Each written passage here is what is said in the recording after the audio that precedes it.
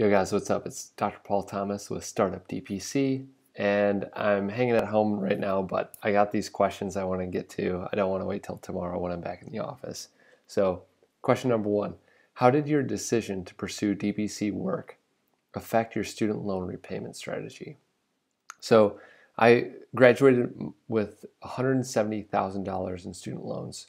Um, that was in 2013. That was the average debt load.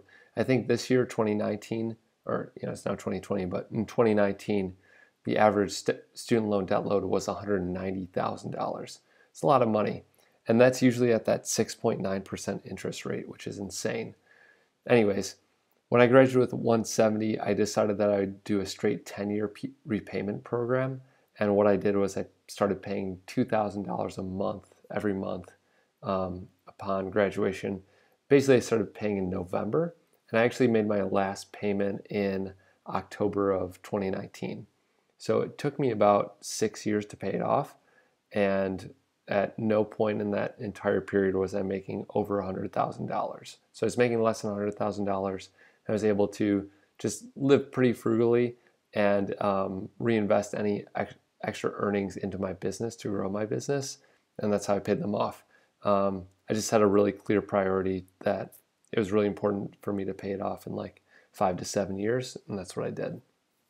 Um, so it didn't affect my strategy to pursue direct primary care because I knew that's what I was going to do. I couldn't see myself practicing the fee for service system at all. And I knew that if I wanted to have a career in medicine, it would have to be in direct primary care because there was no way I was going to see 24 to 30 patients a day. And also, I really believe in the work that I do every day. It's empowering. I get up ready to go to work every day. I'm pretty excited about it. And I didn't feel that way about the fee for service system. All right, question number two. As residents, we're mostly responsible for our patients. We connect with some of them, but don't know how to engage them while they wait for us to complete residency. What was your strategy? So, basically, my strategy was to uh, connect with people in the community that are starting my practice and connect with people in many different ways. So, you know, that, that really gets down to personal branding. How do you build a personal brand? I actually go into depth on this in one of my courses on our website. It's at startupdpc.com slash take action. And you can take one of those courses on how to attract new patients to your direct primary care practice. So I recommend that you really build a strong personal brand on Facebook, LinkedIn, Instagram, YouTube, one or all of those channels, and you can really attract people to your business and your brand that way. Question number three practice finance is a big issue. Didn't working multiple jobs interfere with your time commitment to your private practice patients? And no, it did not. I basically worked two days a week in, during the first year of my DPC practice. I worked 12 hour shift during the week, like on a Tuesday or something, and then I worked an eight hour shift on a Saturday or Sunday. And so I was working 20 hours a week at the urgent care. I earned 70, 80 dollars an hour, something like that. I can't remember now.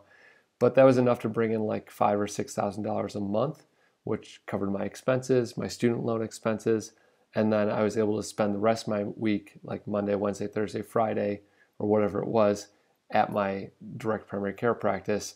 And because I had so few patients at that time, you know, I was didn't uh, at my the end of my first year, I think it was around 125, 150 patients. So it wasn't that many patients.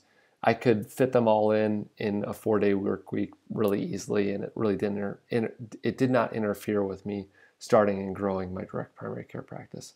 So thank you so much for these questions. I think they're amazing. Keep them coming. I'm Dr. Paul Thomas at Plum Health DPC, and um, I started this thing called Startup DPC I help doctors start and grow their direct primary care practices.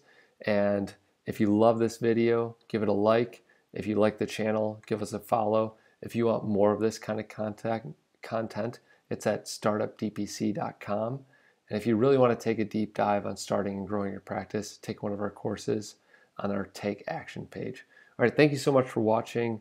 I hope you're having a wonderful night and enjoy your leap day, uh, February 29th. All right, take care, everybody. See ya.